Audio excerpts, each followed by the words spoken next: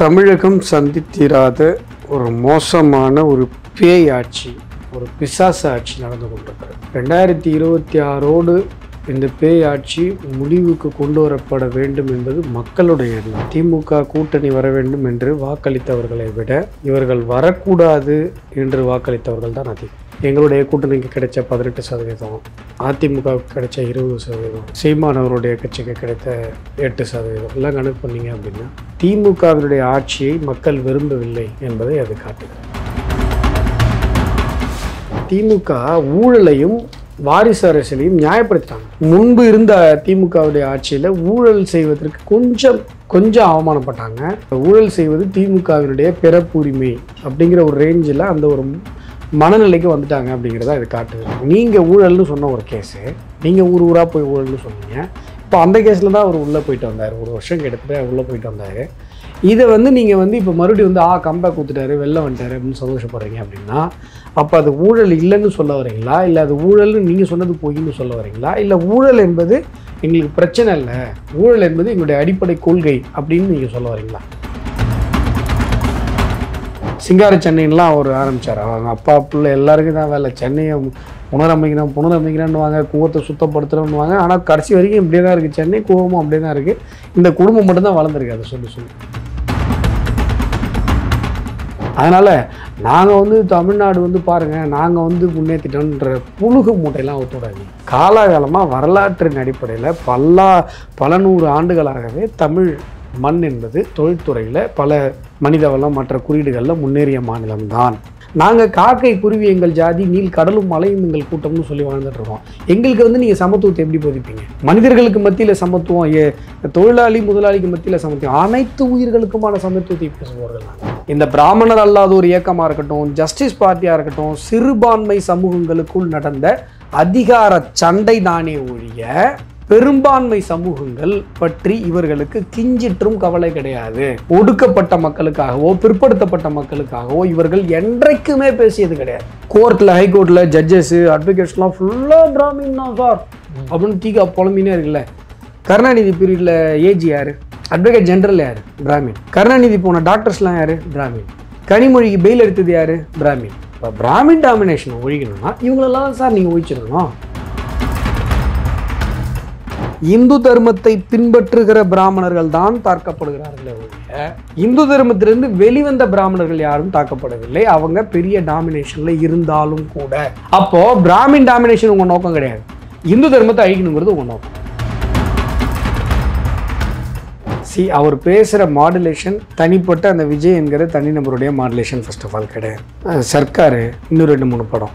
அதில் விஜய் கேரக்டர் என்ன மாடுலேஷன் பேசுச்சோ அந்த மாடுலேஷனில் பேசுகிறாங்க மாடுலேஷனே உண்மை இல்லை. அப்புறம் எப்படி மனசுலேருந்து வார்த்தைகளும் கொள்கைகளும் வரும்? நீங்கள் திமுக என்ன பேசுதோ அதான் விஜய் பேசுகிறாரு நீங்கள் வந்து ஒரு கண்ணு திராவிடம் ஒரு கண்ணு தமிழ் தேசியம் அப்படின்றாரு. இதே தான் திமுகவும் சொல்கிறேன் ஆனால் பெருந்தலைவர் காமராஜரோ அண்ணல் அம்பேத்கரோ இல்லை வேலு நாச்சியாரோ இல்லை அஞ்சலி அம்மாள் அஞ்சலி அம்மாள் யாருன்னா தெரியுமா தம்பி உங்களுக்கு? வன்னியர் கம்யூனிட்டி அவங்களுடைய அப்பீல் வேணும்னா டக்குன்னு போட்டீங்க ஓகே. அவங்க வரலாறே அது படிச்சிருக்கீங்களா?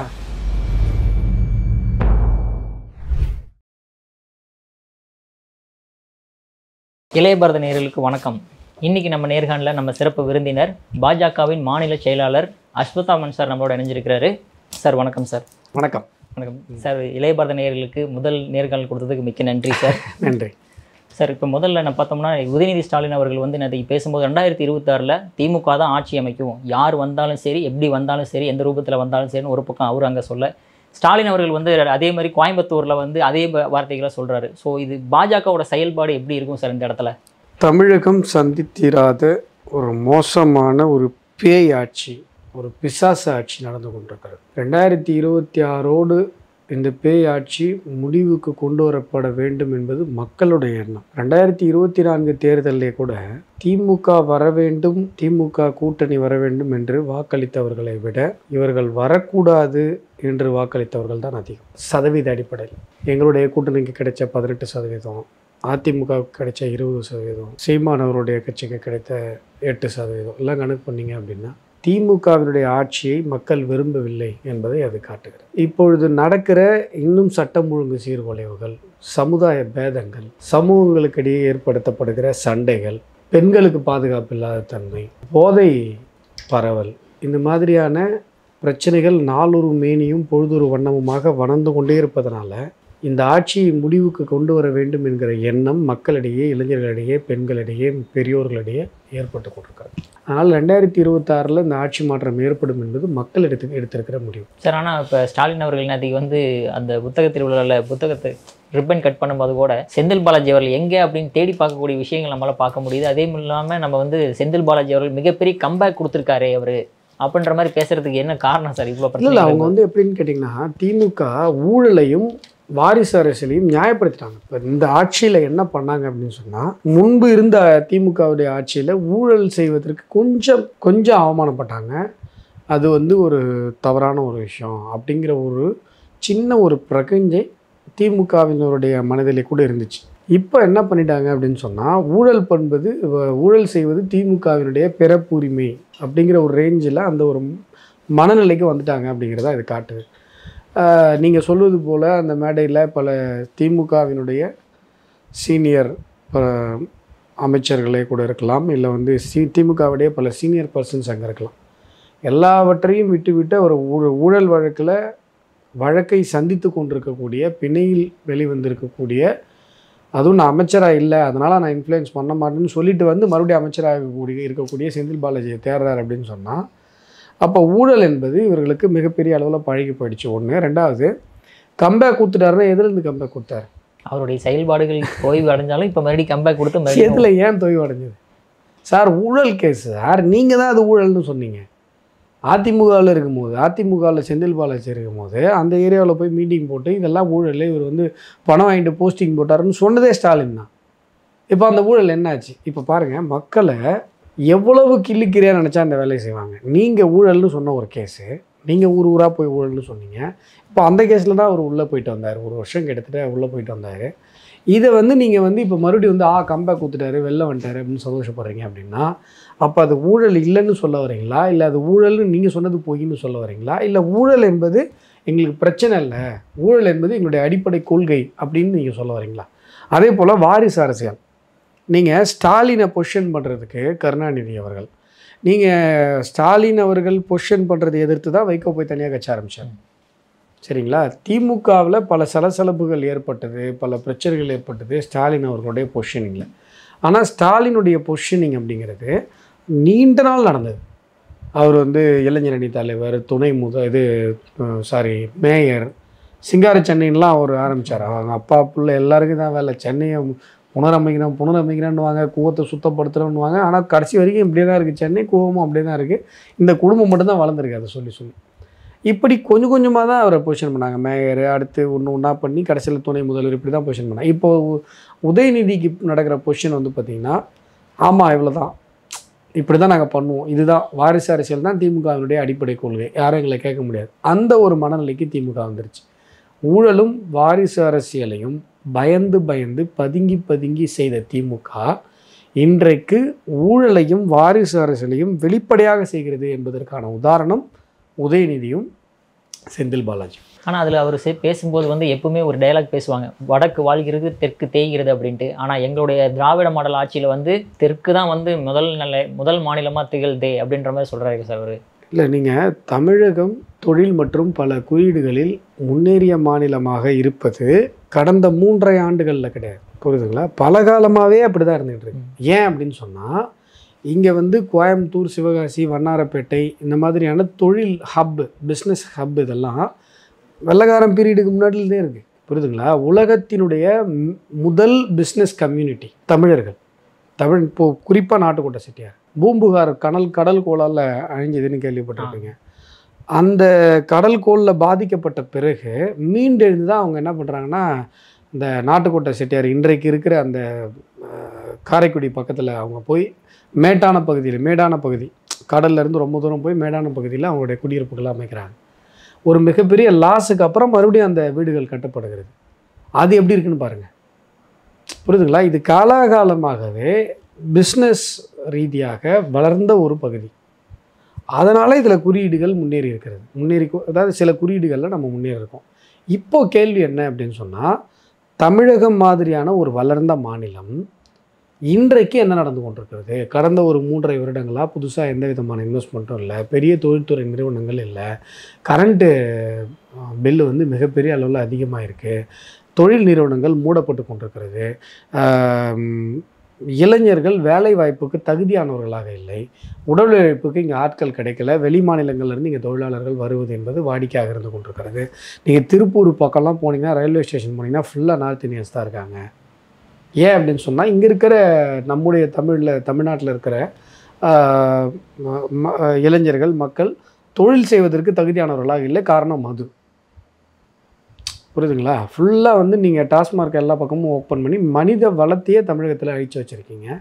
இவ்வளவு பிரச்சனைகள் இங்கே இருந்து கொண்டிருக்குது. இதோட இம்பேக்ட் எப்போ தெரியும் அப்படின்னு சொன்னால் இன்னும் கொஞ்ச நாள் கழிச்சு தெரியும். இப்போது இது வந்து சரிவை நோக்கி சென்று கொண்டிருக்கிறது அப்படிங்கிறது நம்ம கண்கூட தெரியுது. ஒரு பீரியடுக்கு மேலே தமிழ் தொழிலதிபர்களை என்ன பண்ணுவாங்கன்னா வெளி மாநிலங்களுக்கு இடம்பெயர ஆரம்பிப்பாங்க.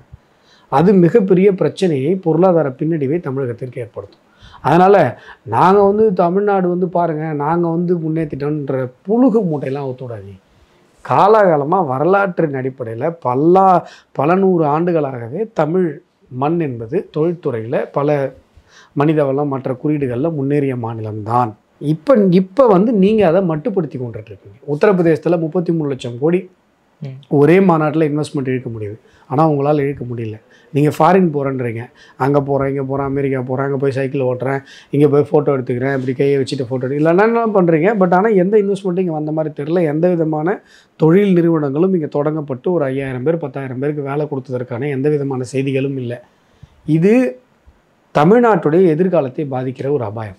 ஓகே அதே மாதிரி இப்போ இப்போ மிகப்பெரிய சர்ச்சை என்ன பார்க்குறோம் அப்படின்னு பார்த்தீங்கன்னா பட்டியலினத்தோருக்கு வந்து பிசிஆர்னு ஒரு சட்டம் இருக்கிற மாதிரி பிராமணர்களுக்கு ஒரு தனி சட்டம் வேணும் அப்படின்ற மாதிரி போராட்டங்கள்லாம் எழு எழுதுது சார். இப்படி எல்லா சமுதாயமும் தனித்தனி சட்டம் வேணும்னு கேட்டால் அது சரி வருமா சார் அது?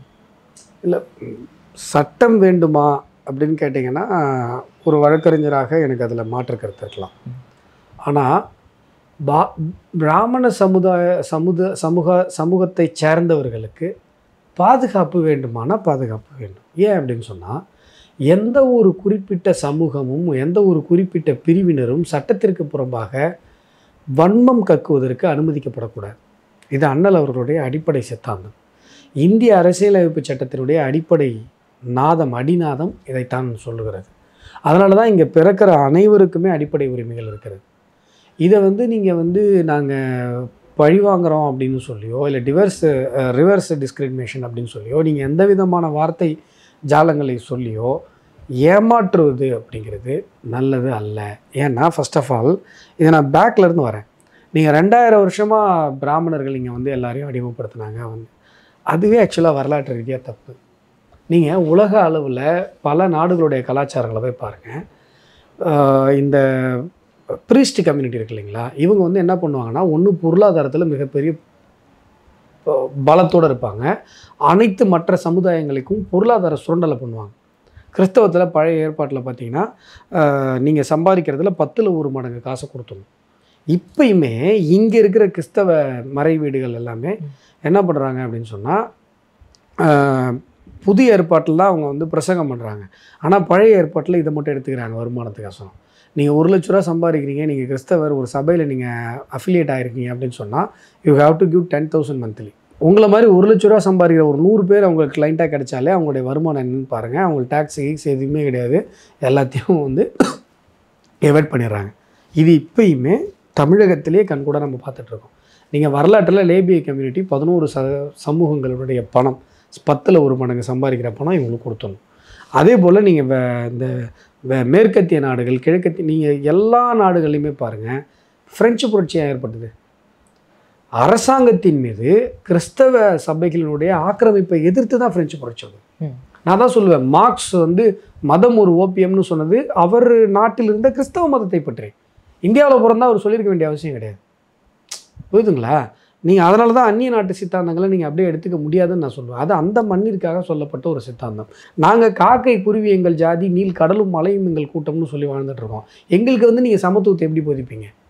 மனிதர்களுக்கு மத்தியில் சமத்துவம் ஏ தொழிலாளி முதலாளிக்கு மத்தியில் சமத்துவம் அனைத்து உயிர்களுக்குமான சமத்துவத்தை பேசுபவர்கள் நாங்கள் நீங்கள் வந்து என்ன சொல்கிறது முழுசாக மெச்சூரிட்டி அடையாத ஒரு நாட்டில் புரட்சி பேச பேசப்பட்ட புரட்சின்ற விஷயத்தை முழுமையாக உச்சபட்ச சுதந்திரம் உச்சபட்ச புரட்சி ஏற்கனவே அடைந்து விட்ட ஒரு தேசத்தில் வந்து பேசுவது. பிஹெச்டி படித்தவன்ட்ட போய் பத்தாம் கிளாஸ் படித்தவன் பாடம் எடுக்கிற மாதிரி தான் அந்நிய நாட்டு சித்தாந்தவாதிகள் இந்திய தர்மத்தில் இந்திய சித்தாந்தவாதிகள்கிட்ட வந்து பாடம் எடுக்கிறது இதை நம்ம சொல்லிகிட்டு இருக்கோம். இந்த ப்ரீஸ்ட் கம்யூனிட்டி அப்படிங்கிறவங்க அரசு மீது ஆதிக்கம் அல்லது மற்ற மக்கள் மீது பொருளாதார சுரண்டல் இது எல்லாமே ஏற்படுத்திகிட்டு இருந்தாங்க. நீங்கள் இங்கே பாருங்கள் அக்ரகாரங்கள் எப்படி இருக்கும்? இப்போ நாட்டுக்கோட்டை செட்டியாருங்க வீடு எப்படி இருக்கும்? ஒவ்வொரு வீடும் அரண்மனை மாதிரி இருக்கும். பிராமணர்கள் வாழ்ந்த அக்ரகாரங்கள் ஓட்டு வீடு தானே? ஆமாம் நீங்கள் எங்கேயாவது கல் விடாது பார்த்துருக்கீங்களா? ஒட்டின விடாது பார்த்துருக்கீங்களா? இல்லை. அவங்க வாழ்ந்த வாழ்க்கை ஒரு எளிமையான ஒரு வாழ்க்கை. நான் என்னச்சிக்க சொல்கிறேன் இந்த விஷயத்தெல்லாம் கோடிஃபை பண்ணது அவங்க தான். அந்தனர் நூறுக்கும் அறத்திற்கும் ஆதியாய் நின்றது மன்னவன் செங்கோல். அந்தனர் நூற்பது தான் அறம். இதான் அந்த திருக்குறள் சொல்ல வர்ற கருத்து. இல்லையா? அந்தனர் நூறுக்கும் அறத்திற்கும் ஆதியாய் நின்றது மன்னவன் செங்கோல்னா அந்தனர் நூற்பது தான் அறம் என்றாகிறது இல்லையா. இப்போ இவங்க தான் கோடிஃபை பண்ணுறாங்க இவங்களே இந்த லேபிய கம்யூனிட்டி மாதிரி கிறிஸ்தவத்தில் இருக்க மாதிரி ஏப்பா நீ சம்பாதித்தில் பத்தில் ஒரு மகனை கொடுத்துருப்பான்னு சொல்கிறதுக்கு எவ்வளோ நேரம் ஆகும்? ஏன் சொல்லலை? ஏன் பிச்சை வாங்கி தன்னுடைய வாழ்க்கையை நடத்தணும்னு சொல்லி அவங்களே அவங்களுக்கு விதிச்சுக்கிறாங்க? பிச்சை வாங்குறது எவ்வளோ கஷ்டமான விஷயம். சார் பிச்சை வாங்கி சாப்பிடணும். நினைக்கும் போதே கொடுமையாக இருக்கா இல்லையா? அடுத்த நாள் சாப்பாட்டுக்கு நீங்கள் வந்து சொத்து சேர்க்கக்கூடாது. இந்த இந்த கடுமையான விதிமுறைகளை ஏன் தங்களுக்கு தானே பிராமணர் சமூகம் விதித்து கொண்டது? இதுக்கு யாருமே பதில் சொல்ல மாட்டாங்க அப்போது இந்த ரெண்டாயிரம் வருஷம் புரளி இவங்களை வந்து நாங்கள் நாங்கள் பழி வாங்குறோம் ரிவர்ஸ் டிஸ்கிரிமினேஷன் இதுக்கெல்லாம் இல்லாஜிக்கலாக போயிடுது. எப்போ பிராமணர்களுடைய டாமினேஷன் அப்படின்னு நீங்கள் சொல்கிற அந்த சோகால்டு டாமினேஷன் வருதுன்னா எஸ் எப்போன்னா பிரிட்டிஷ் பீரியடுக்கு அப்புறம். அவங்களும் என்னென்னா பிராமணர் சமூகத்திலேருந்து பலர் ஆங்கிலம் கற்றுக்கிட்டு பிரிட்டிஷ் ஏகாதிபத்திய ஆட்சியின் கீழே ஒரு சிலர் ஒரு சில பதவிகளில் போய் உட்கார்றாங்க இதை வந்து சில பண்ணையார் ஜாதிகளால் பொறுத்துக்கொள்ள முடியல. ஜமீன்தாருங்களால் பொறுத்துக்க முடியல. பிரிட்டிஷ்க்கு கீழே இவங்கெல்லாம் ஜமீன்தாராக இருக்காங்க பண்ணையாராக இருக்காங்க. நான் ஒரு பண்ணையார் எனக்கு கிடைக்கிற மரியாதையை விட இந்த கிளரிக்கல் போஸ்ட்டில் இருக்கவங்க இல்லை இந்த அஃபிஷியல் போஸ்ட்டில் இருக்கவங்க டாமினேட் பண்ணுறாங்களே அப்படிங்கிற ஒரு பிரச்சனை தான் ஜஸ்டிஸ் பார்ட்டி இது தமிழகத்தினுடைய பெரும்பான்மை சமூகங்கள் எந்த சமூகத்திற்கும் சம்பந்தம் இல்லாத ஒரு விஷயம். இந்த பிராமணர் அல்லாத ஒரு இயக்கமாக இருக்கட்டும் ஜஸ்டிஸ் பார்ட்டியாக இருக்கட்டும் சிறுபான்மை சமூகங்களுக்குள் நடந்த அதிகார சண்டை தானே ஒழிய பெரும்பான்மை சமூகங்கள் பற்றி இவர்களுக்கு கிஞ்சிற்றும் கவலை கிடையாது. ஒடுக்கப்பட்ட மக்களுக்காகவோ பிற்படுத்தப்பட்ட மக்களுக்காகவோ இவர்கள் என்றைக்குமே பேசியது கிடையாது. அதற்கு பிறகு தமிழர்கள் என்கிற அடையாளத்தை அழிக்கணும் தமிழ் மொழி அழிக்கணும் தமிழ் வாழ்வியல் முறையை அழிக்கணும்னு சொல்லி திராவிடம் என்கிற சமஸ்கிருத வார்த்தையை எடுத்துகிட்டு வந்து இவங்க ஒரு அரசியல் பண்ணாங்க. இவங்களுடைய எந்த வரலாற்றுலேயுமே சோஷியல் ஜஸ்டிஸ் அப்படிங்கிற ஒரு விஷயம் கிடையாது. பிராமணர்கள் ஏன் தாக்கப்படுகிறார்கள் அப்படின்னு சொன்னால் பிராமணர்கள் இந்து தர்மத்தை காப்பவர்களாக இருந்து கொண்டிருக்கிறார்கள். நீங்கள் நல்லா பாருங்கள் பிராமின் டாமினேஷனை ஒழிக்கணும் அப்படின்னா நீங்கள் என்ன பண்ணுவீங்க? உங்கள் சர்க்கிளில் யாராவது ஹை போஸ்ட்டுக்கு பிராமின்ஸ் வந்தால் அதை எது எதிர்ப்பீங்க. கரெக்டாக நீங்கள் பாருங்கள் சினிமா துறையில் கமலஹாசனுங்கிற ஒரு ஜாம்பவான் இருக்கார் யாராவது கமலஹாசன் ஏற்றாங்களா இல்லை. கோர்ட்டில் ஹைகோர்ட்டில் ஜட்ஜஸ்ஸு அட்வொகேட்ஸ்லாம் ஃபுல்லாக பிராமின் தான் சார். அப்படின்னு டீகா புலம்பினே இருக்குல்ல. கருணாநிதி பீரியடில் ஏஜ் யார்? அட்வொகேட் ஜெனரல் யார்? பிராமின். கருணாநிதி போன டாக்டர்ஸ்லாம் யார்? பிராமின். கனிமொழிக்கு பெயில் எடுத்தது யார்? பிராமின். இப்போ பிராமின் டாமினேஷனை ஒழிக்கணும்னா இவங்களெல்லாம் சார் நீங்கள் ஒழிச்சிருக்கணும் இப்போ ஹிந்து ராமும் கயநிதி மாறனும் சொந்தக்காரங்க. திருமண உறவு இருக்கிற இரண்டு குடும்பத்துக்குள்ள. பிராமின் டாமினேஷனை ஒழிக்கணும்னா நீங்கள் வந்து சார் பத்திரிகை துறை இன்னும் எப்படி சார் பிராமின் இந்து ராம் கையில் வைக்கலாம் அதை நாங்கள் எதிர் அப்படி தானே பண்ணோம்? அப்போது உங்கள் டார்கெட் எல்லாமே பெரிய பெரிய தொழிலதிபர்கள் பெரிய பெரிய நடிகர்கள் பெரிய ஆளுமைகள் மேலெலாம் இல்லை. உங்கள் டார்கெட் யார் மேலே இருக்குன்னா மயிலாப்பூர் கோயிலில் மணி மணி அடிச்சுன்னு வெளில வராரு பாருங்க ஒரு ஐயர். அவர் தான் நீங்கள் அட்டாக் பண்ணுறீங்க அப்போ உங்கள் கோபம் மயிலாப்பூர் கோவிலுக்கு வர எல்லா பக்தர்கள் மேலேயும் எல்லா பக்தர்களையும் அட்டாக் பண்ணணும்னு நினச்சாலே உங்கள் முதுகெலும்பு நாங்கள் முடிச்சு போட்டுறோம்னு உங்களுக்கு நல்லா தெரியும். சாஃப்ட் டார்கெட்டுங்கிறதுனால நீங்கள் இது பண்ணுறீங்க இந்து தர்மத்தை பின்பற்றுகிற பிராமணர்கள் தான் தாக்கப்படுகிறார்களே ஒழிய இந்து தர்மத்திலிருந்து வெளிவந்த பிராமணர்கள் யாரும் தாக்கப்படவில்லை. அவங்க பெரிய டாமினேஷனில் இருந்தாலும் கூட. அப்போது பிராமின் டாமினேஷன் உங்கள் நோக்கம் கிடையாது. இந்து தர்மத்தை அழிக்கணுங்கிறது உங்கள் நோக்கம். அப்போ பெரியார் அவர்கள் ஏன் சார் அப்புறம் பிராமின் ஒழிப்பு கொள்கை எடுக்கிற இந்து தர்மத்தை அழிக்கணும்னா? நீங்கள் வந்து ஈவே ராமசாமியினுடைய கொள்கை இந்து தர்மத்தை அழிக்க வேண்டும் என்று இந்த நாட்டினுடைய சொந்த தர்மம் பேசப்படக்கூடாது. இந்த நாட்டினுடைய இந்த மண்ணினுடைய மொழி பேசப்படக்கூடாது. அது காட்டு மிராண்டி மொழி. திருக்குறள் மலத்திற்கு ஒப்பானது. இதுதான் ஈவே ராமசாமியுடைய கருத்து. எதற்காக சார் அந்த அந்த அளவுக்கு வெறுப்புணர்ச்சி அவருக்கு? வெறுப்புணர்ச்சின்றது இல்லை பிரதர். அவர் ஆரம்பத்திலே வெறுப்புணர்வு உள்ளவரெல்லாம் கிடையாது. அவர் வந்து முதல் பதினேழு இதழ்களில் நீங்கள் சொல்கிற சோகால்டு சங்கி அவர் ஆக்சுவலாக சங்கி. ஆமாம் பாரத மாதா படம் போட்டிருப்பாரு. ஃபஸ்ட்டு முதல் முதல் குடியரசு இதழ். கம்யூனிஸ்ட்டுங்க ஒரு புக்கு போட்டிருக்காங்க. முதல் குடியரசு இதழ் கிடைத்து விட்டது அந்த முதல் பதினேழு இதழை மறைச்சிட்டாங்க. ஈவராமசாமி குரூப் கிடைக்கலன்ட்டாங்க. முதல் இதழை கண்டுபிடிச்சி கம்யூனிஸ்ட்டுங்க புக்கு போட்டாங்க. அந்த புக்கை நான் வச்சு நான் பல வீடியோவில் சொல்லியிருக்கேன். அதில் என்ன சொல்கிறாங்கன்னா சிவசுப்பிரமணிய மெஞ்ஞாரியார் சுவாமிகளுடைய அருள் கிடைத்து அவருடைய நேரம் கிடைத்து சுவாமிகள் இந்த இதழை திறந்து வைப்பதை நினைக்கும் போது இது நான் செய்த பூர்வ ஜென்ம புண்ணியம் அப்படின்னு சொல்கிறது யாரு ஈவராமசாமி அப்போ கன்ஃபார்ம் சங்கி தானே சார்? ஆச்சா பூர்வ ஜென்ம புண்ணியத்தை நம்புறாரு சிவசுப்பிரமணியானியார் வந்ததை வந்து ஐயோ சாமி வந்துட்டீங்களா? அப்படிங்கிறாரு. எல்லாம் இருக்கார். அப்புறம் எப்படிங்க இவர் வந்து திடீர்னு இதில் நீங்கள் பாருங்கள் ஈவராம் சாமி பற்றி பாடத்தில் இவர் நாலாம் கிளாஸ் அஞ்சாம் கிளாஸ் படிக்கும் போதே இவர் வந்து இது என்னது கடவுள் மறுப்பு பேசினாருன்னு கதை விடுவாங்க. ஃபுல்லாகவே புருடாங்க. ஏங்க ஒரு மனுஷன் வாழ்க்கையில் எல்லாமே புருடா யுனெஸ்கோவில் அவார்டு வாங்கினான்னு புழுவுனாங்க இவர் வாவுசிக்கு வாவுசி இவர்கிட்ட ரெக்கமெண்டேஷன் கேட்டாருன்னு போட்டாங்க பார்த்தீங்களா ஒரு பொரட்டு. அதை விடவா வாவுசி எவ்வளோ பெரிய பெருந்தகையாளர்? இவர் ஒரு ஆளே இல்லை. இவர்கிட்ட இவர் அவர் கேட்டாரா ரெக்கமெண்டேஷன் எப்படி கேவலப்படுத்துறாங்க பாருங்க. த- தமிழ் சான்றோர்களை எப்படி அவமானப்படுத்துறாங்க பாருங்க. இதுதான் எங்களுடைய குரூரமான வன்மம். அடுத்தது இந்த பாரத மாதா ஃபோட்டோ ஒரு துறவி மலைக்கடியில் தியானம் செய்கிற ஒரு ஃபோட்டோ இதெல்லாம் தான் இருக்கும். ஜாதிகள் இல்லையடி பாப்பா அப்படின்ற வார்த்தை மகாகவி பாரதியருடைய கையாடல். எல்லாமே போட்டு தான் முதல் குடியரசு இதழ் ஆரம்பிக்கப்பட்டது. முதல் குடியரசு இதழுடைய நோக்கமாக ஈவே ராமசாமி என்ன சொல்கிறார் தெரியுங்களா? சமயாபிமானம் பாஷாபிமானம் தேசாபிமானம். தேசப்பற்று மதப்பற்று மொழிப்பற்று. இது மூன்று தான் முதல் குடியரசு இதழ் ஆரம்பிக்கப்பட்டவர்களுடைய நோக்கம். இப்போ சொல்லுங்க. இவர் யாரு? அப்புறம் எதுக்காக சார் அந்த அந்த அந்த மாதிரி விஷயத்துல அது ஏன் ஆரம்பிச்சாருன்னா இருபத்தி ஒம்பது ஆயிரத்தி தொள்ளாயிரத்தி இருபத்தி ஒம்போதுல முப்பத்தி ரெண்டு வரைக்கும் அவர் வந்து ஃபாரின் டூர் போகிறார் அவர் யாருக்கு அவ்வளோ ஃபண்டு கொடுத்தா யார் கூட்டு போனான்றதுக்கான பதில் இப்போ வரைக்கும் கிடையாது. ஏன் ஒருத்தர் திடீர்னு வெறி எடுத்த மாதிரி எல்லா நாட்டுக்கும் சுற்றின்னு வந்தாருன்றது எந்த விதமான லாஜிக்கும் இப்போ வரைக்கும் ஒர்க் அவுட் பண்ணல. ஏன் சார் அவர் போனார்? யார் சார் அவர் கூட்டு போனா? யார் ஃபண்டு பண்ணா? ஏன்னா அவர் ரொம்ப பேசிக்கலாக சரியான கஞ்சம். சரிங்களா? கஞ்சம்னா அப்படி ஒரு கஞ்சம். ஸ்ரீரங்கத்தில் அவர் மேலே செருப்பு வீசப்படுது. அந்த ஒரு செருப்பு ரிக்ஷாக்குள்ளே விழுந்துருது இவர் என்ன பண்ணுறாருன்னா ரயில்வே ஸ்டேஷன் வரைக்கும் போயிடுறாரு. போயிட்டு திருப்பி வர்றாரு. அப்போ கூட அவங்க செருப்பு வீசப்படும் போது கிளம்பிட்டாரு. திருப்பி ஒரு மறுபடியும் ஒரு ஆஃப் அன் ஹவர் கழிச்சு வந்துட்டு செருப்பு வீசப்பட்ட இடம் நோக்கி போகிறாரு அங்கே வந்து எப்படி அவன் ஒரு செருப்போட போயிருக்க மாட்டான்ல. ஒரு செருப்பு எடுத்துகிட்டு போய் என்ன பண்ண போகிறான் அப்படின்னு சொல்லி அந்த ஒரு செருப்பு விட்டுருப்பான்ல. அதை எடுத்துகிட்டு வந்து இந்த ரெண்டு ஒரு ஜோடி செருப்போட சென்னைக்கு வந்தவர் தான் இவராமசாமி இவர் எப்படி சார் ஃபாரின்லாம் போனார்? எப்படி காசு கிடைச்சிது? எப்படி அவருக்கு மனசு வந்தது? காசே இருந்தாலும் அப்போ யார் ஃபண்டு பண்ணி கூப்பிட்டு போனால் அதுக்கெல்லாம் கேள்வி இல்லை. ஏன் நான் இந்த ஃபாரின் ட்ரிப்பை சுற்றி சுற்றி வரேன் அப்படின்னு சொன்னால் அந்த மூணு வருஷம் ஃபாரின் ட்ரிப்புக்கு அப்புறம் தான் நீங்கள் சொல்கிற சோ கால்டு கடவுள் மறுப்பை வீராமசாமி பேசுகிறேன் அதுக்கு முன்னாடி வரைக்கும் நான் சொன்ன மாதிரி குடியரசு இதழ் சிவசுப்பிரமணிய அணியார் வந்து திறந்து அவருடைய நேரம் கிடைத்து அவருடைய அருள் கிடைத்தது அவர் வந்து இந்த இதழை துறந்து தொடங்கி வைத்தது நான் செய்த பூர்வ ஜென்ம புண்ணியம்! அப்படின்னு சொல்லி உருண்டு உருண்டு சாமி கும்பிட்டவர் தான் ஈவராம் சாமி. ஃபாரின் ட்ரிப்பு மூணு வருஷம் போனதுக்கப்புறம் நான் சொல்கிறதெல்லாம் அவருடைய நாற்பதுகளில். புரியுதுங்களா? பாதி வாழ்க்கை முடிஞ்சு போச்சு. அப்புறம் தான் திடீர்னு இவருக்கு கடவுள் மறுப்பு தான் இதெல்லாம் கடவுள் மறுப்பை நான் பகுத்தறிவுன்னு சொல்ல மாட்டேன். அந்தளவுக்கு பகுத்தறிவு இல்லாதவன் நான் கிடையாது. கடவுள் மறுப்பு சிந்தனை என்பது அப்புறம் தான் அவருக்கு வருது. எப்படி வந்துச்சு? யார் சொல்லி கொடுத்தா அப்படின்னு தெரியாது. இன்னொன்று சொல்கிறேன் அவர் வாழ்நாள் முழுசும் இந்து தர்மத்தை விமர்சித்தார் ஒரு சில தருணங்களில் இஸ்லாத்தை விமர்சிச்சிருக்கார். இஸ்லாத்தை ரொம்ப மோசமாக விமர்சிச்சிருக்கார். ஒரு நாள் கூட வாய் தவறி கூட கிறிஸ்தவத்தையோ பைபிளையோ அவர் விமர்சிச்சது கிடையாது. இப்போ உங்களுக்கு எல்லா நாட்டும் கனெக்ட் ஆகுதா? இவ்வளோ தான் ஈவராமசாமி அப்போது இவங்களுடைய நோக்கம் இந்து தர்மத்தை எதிர்ப்பது.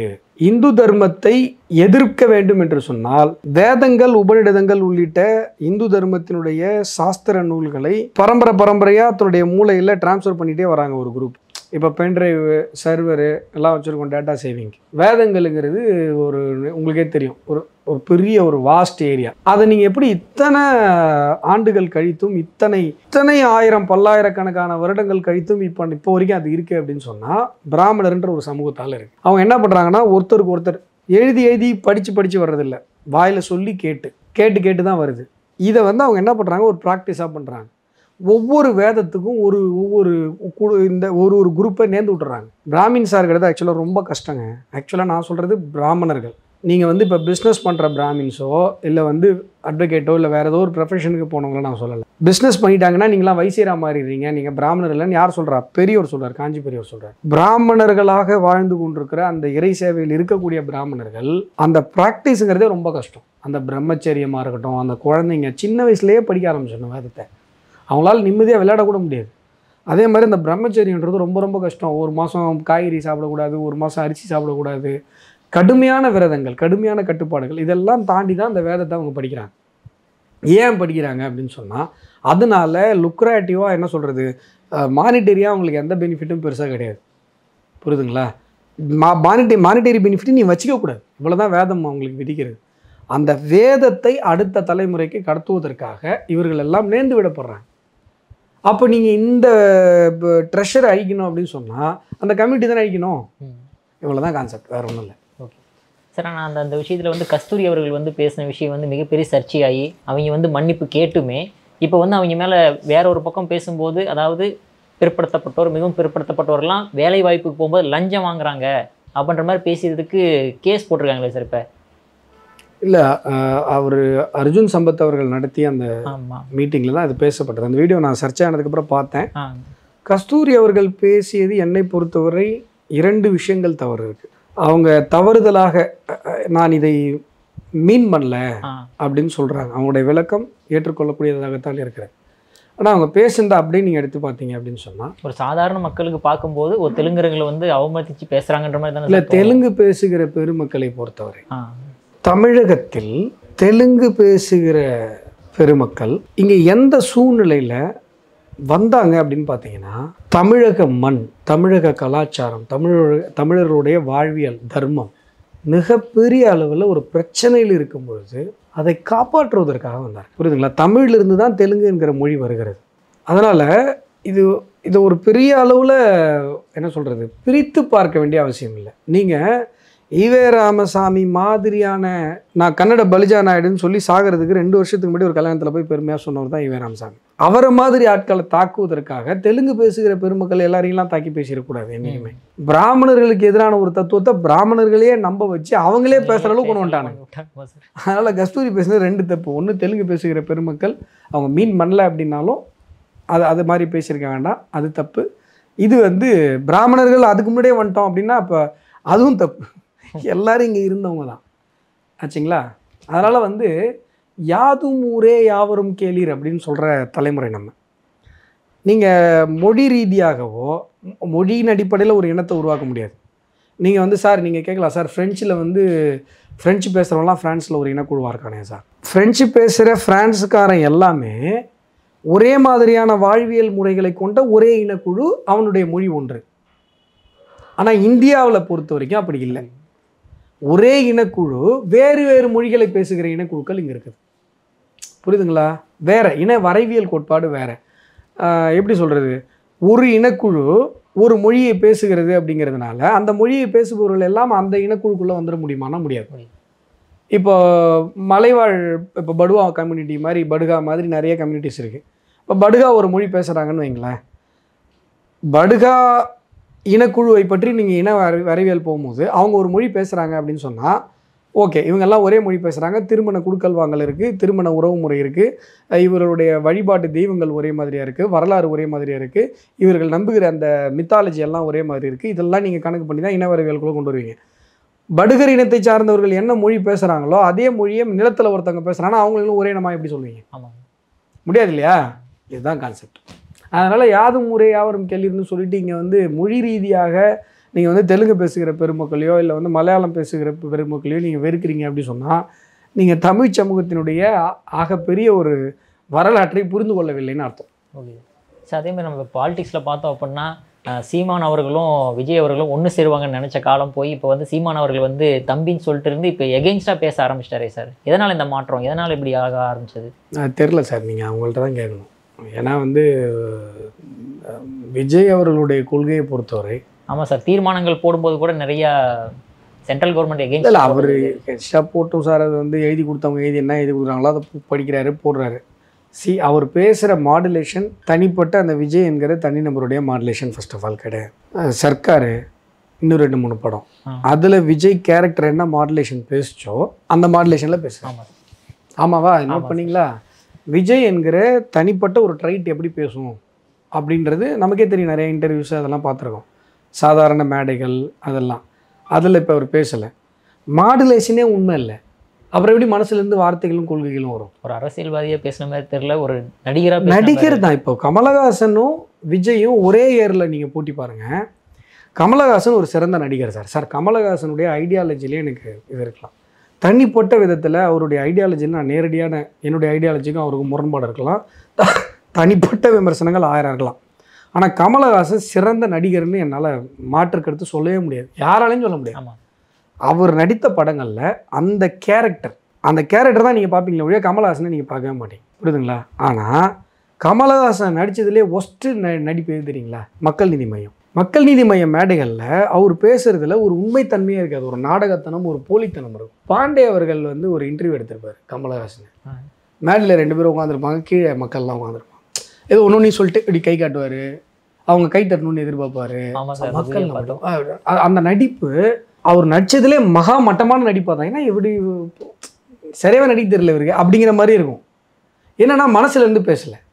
நீங்கள் எம்ஜிஆரும் விஜயகாந்தும் கமலஹாசன் விஜயிடமிருந்து எப்படி மாறுபடுறாங்க அப்படின்னு சொன்னால் அவங்க நடிகர்கள் என்றாலும் கூட அரசியல் மேடைகளில் வரும்போது மக்களோடு அவர்கள் மனதிலிருந்து உரையாடினார்கள். விஜயகாந்தோடைய கருத்தியெல்லாம் எனக்கு மாற்று கருத்து இருக்கலாம். ஆனால் விஜய் அந்த மேடையில் அவராக பேசினார். அவர் அவராக தான் பேசினார். சார் ஒரு ஜான் டீம் வந்து எழுதி கொடுத்துச்சு சார். பிகே டீம் வந்து இது அதெல்லாம் பண்ணல அவங்க. புரியுதுங்களா?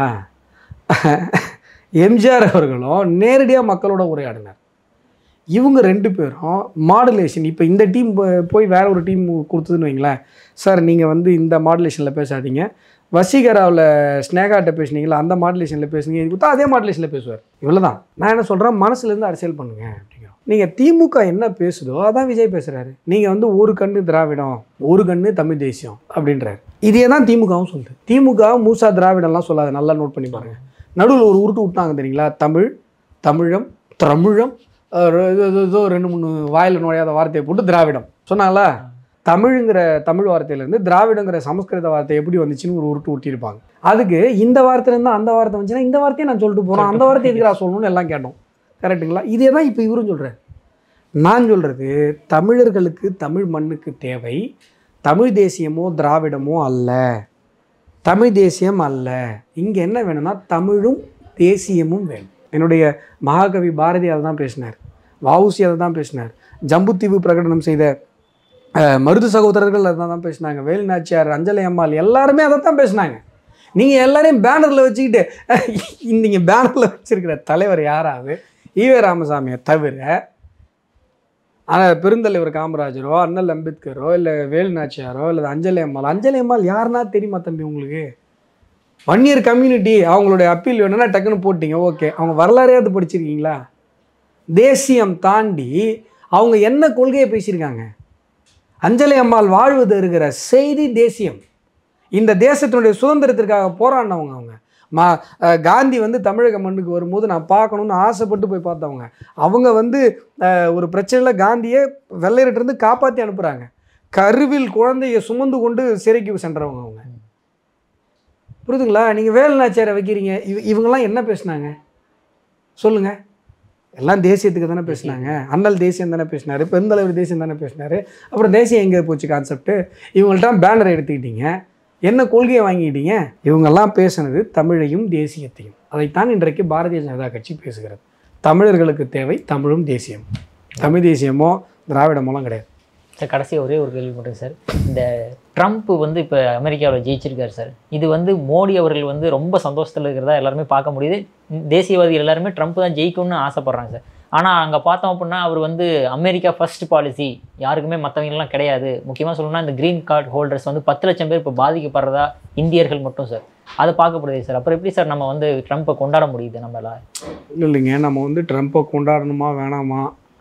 அப்படிங்கிற ஒரு புது கருத்தியலை நீங்கள் ஏற்படுத்த வேண்டிய அவசியம் இல்லை. ட்ரம்ப் அப்படிங்கிறவர் என் பக்கத்தில் கனடாவை பார்க்குறோம் கனடாவில் இந்திய தேசத்திலிருந்து சென்ற தீவிரவாத குழுக்களுக்கு அடைக்கலம் கொடுத்து கொண்டிருக்காங்க. காலிஸ்தான் காலிஸ்தான் தீவிரவாத குழுக்களுக்கு நம்முடைய பிரதமராக இருந்த இந்திரா காந்தி அம்மையாரை சுட்டு கொன்றவர்கள் சுட்டு கொன்றதை இன்றைக்குமே பெருமையான விழாவாக வருடா வருடம் கனடாவில் நடத்தி கொண்டிருப்பவர்களை அவர்கள் போஷிக்கிறாங்க.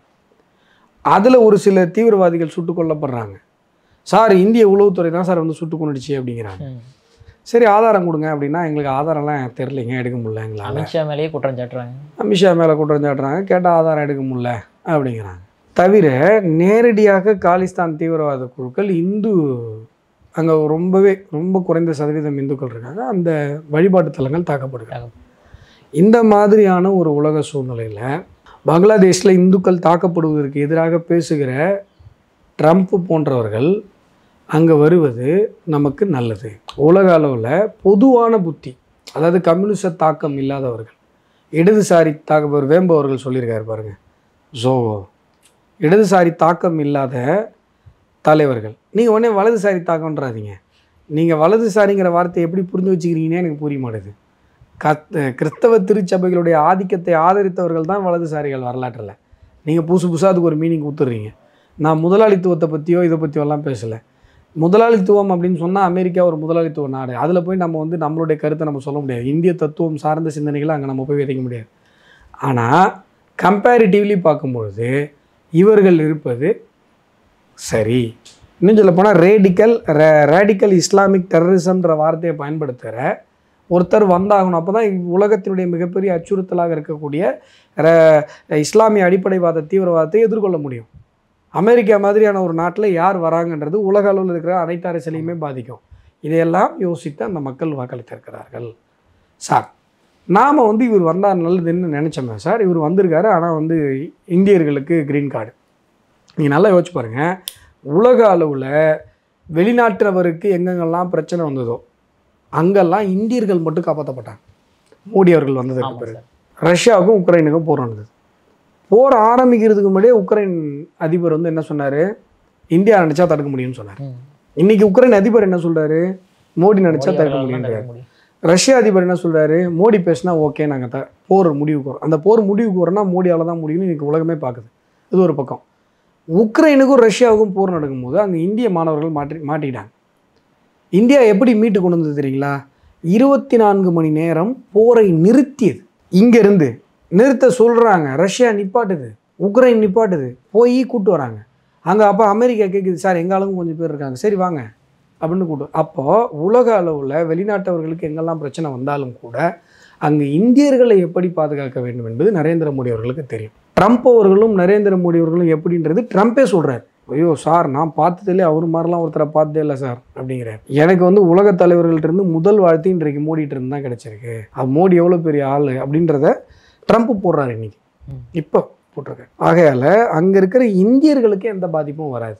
அப்படின்றதுக்கு நம்ம யாரை நம்பலாம் அப்படின்னா நரேந்திர மோடி அவர்கள் இருக்கார் அவரை நம்பலாம். மற்றபடி ஒரு நாடு தன்னுடைய வெளியுறவு கொள்கையிலையோ இல்லை வந்து குடியமர்த்தல் கொள்கையிலையோ அவர்கள் முடிவை எடுக்கக்கூடிய இறையாண்மை அந்த நாட்டுக்கு இருக்குது. நம்ம நாட்டுடைய இறையாண்மையில் ஒருத்தன் தலையிடக்கூடாதுன்னு நம்ம நினைக்கிறோம்னா இப்போ காஷ்மீர் விஷயத்தில் எவனும் பேசாத எங்கள் நாட்டில் சம்மந்தப்பட்ட விஷயம் நீ பேசுகிற வேலை வச்சுக்காதுன்னு சொல்கிறோம்ல சீனாவுக்கும் நமக்குமான பிரச்சனை.